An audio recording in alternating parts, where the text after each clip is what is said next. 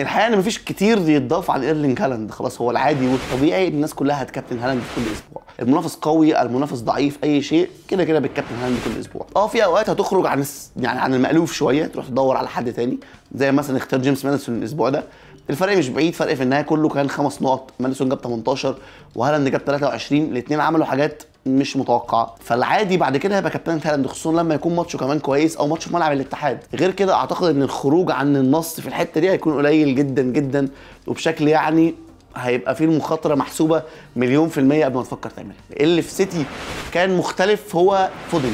فودن سجل ثلاث جوان قصاد مانشستر يونايتد على عكس ما كان بيحصل من أول الموسم. في أغلب فترات الموسم كان في الطبيعي إن فودن وجريليش أو الجناحين عموما في سيتي بيفردوا الملعب على الآخر واللي في اغلب الوقت بيكون داخل العمق بيكون كيفن دي بروين أو برناردو سيلفا أو جندوجان لو بيلعب مكان برناردو سيلفا عشان يكون هم اللي يكونوا أقرب للجون. آه بيبقى في سويتشات في أوقات ما بين دي بروين وفودن على اليمين ما بين برناردو سيلفا وجريليش على الشمال ولكن ده بيكون الشيء السائد.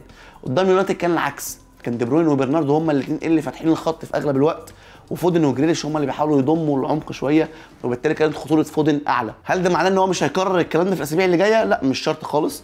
ولكن أنا بديك السبب بتاع إن هو خطورته كانت أعلى بزيادة عن الطبيعي في الجولة اللي فاتت. ويست هام للمباراة الثانية على التوالي بيدي أمارات هجومية إن الفريق ده هيبدأ يتحسن على الأقل.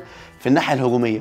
آه في ماتش إيفرتون ما كسبوش وفي النهاية خرجوا خسرانين 1-0 ولكنهم كانوا أحسن شوية في حتة الهجوم. قصاد ولفرهامبتون الكلام ده بقى اترجم لاهداف سكاماكا المهاجم الإيطالي بيسجل أول اهدافه مع الفريق في الدوري ما بعد فترة. كان فيه على الدكة بيلعب في دوري المؤتمر شوية وحان الوقت أعتقد إن هو ياخد مكان انطونيو شوية لحد ما انطونيو يفوق. الراجل ماشي بشكل كويس. كان خطر في الماتش في لقطة كمان تانية. كان ممكن يجيب فيها جون تاني. وقف على فاول. آه هو شاطه طبعا في السماء يعني في السماء قوي. كلمة في السماء دي قليلة. بس هو كون واقف على فاول فده معناه ممكن يكون هيجي منه مستقبلا. جارود بوين اللي كان نجم السنة اللي فاتت وناس كتير بدأت بيه الموسم ده. بس ما قدمش حاجة من أول الموسم. جاب أول جول ليه في الموسم وأول double digit في الموسم. ومنتظر كمان مع الماتشات اللي جاية الكويسة إن هو المفروض يقدم أكتر وأكتر. وويست هام ماتشاته كانت كويسة. بداية من الأسبوع اللي فات ومرورا بأربع خمس أسابيع جايين كمان. ولكن كان أكبر خوف وقلق هو إن فورمة الفريق واقعه دلوقتي الموضوع بدأ يتحسن شوية فيقدر يديك طمأنينة شوية وأنت بتشتري يا بوين يا سكاماكا زوما أو فيبيانسكي في خط الدفاع لو أنت محتاج حد أو حارس أو لاعب ممكن يطلع في أوقات ب clean sheet. ويست هام بالمناسبة مش فريق بيستقبل تسديدات كتير جدا على المرمى. ولكنه رغم كده ما طلعش clean sheets كتير قبل الجولة اللي فاتت. بيستقبل عدد فرص أقل ولكنه بيستقبل منها أجوان. فابيانسكي ما بيصدش كتير فده كان سبب من الأسباب اللي خلى الكلين شيتس بتاعته قليلة.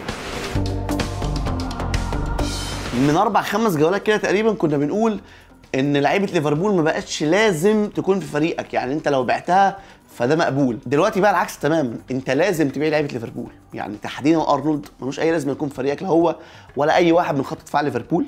أنت محتاج في الفريق أو يعني اللي ممكن تفكر فيه في الفريق هو لاعب واحد بس. يا إما صلاح يا إما لويس دياز. والاثنين بسعرهم دلوقتي ده في لعيبة قريب منهم أو أقل منهم كمان في السعر بيجيبوا عدد نقط أعلى. فبالنسبة لي لعيبة ليفربول على الأقل الجولتين الجايين هم بيلعبوا أرسنال. ثم مانشستر سيتي ابعد عنهم. لو قدموا حاجة قدام أرسنال والسيتي ساعتها تقدر تبدأ تفكر فيهم تاني في الماتشات السهلة. لكن قبل كده ما تفكرش في حد من لعيبة ليفربول. آخر حد عايزين نتكلم عنه هو تروسارد. تروسارد سجل هاتريك قصاد ليفربول. دي زيربي المدرب كورته هجومية. تبدأ ناس تفكر أنا لازم أجيبه طب أعمل إيه؟ طب أروح له؟ طب لأ. هو عنده توتنهام الجولة اللي جاية عنده بعد كده ماتشين مقبولين برينتفورد ونوتنجهام فورست وبعد كده عنده سيتي وتشيلسي ورا بعض. خمس ماتشات فيهم ثلاثة في رايي صعبين. فممكن تعدي الجولة اللي جاية تستنى ماتش توتنهام تشوف كده الأجواء هيبقى فيها إيه. ولو أنت عندك لعيب شاكك فيه حد أنت شايف إن هو ممكن ما يجيبش نقط بعد كده ممكن ساعتها تروح بايعه وجايب تروسارد للجولتين اللي بعد كده اللي هو بيلعب برينتفورد آه فريق مش سهل.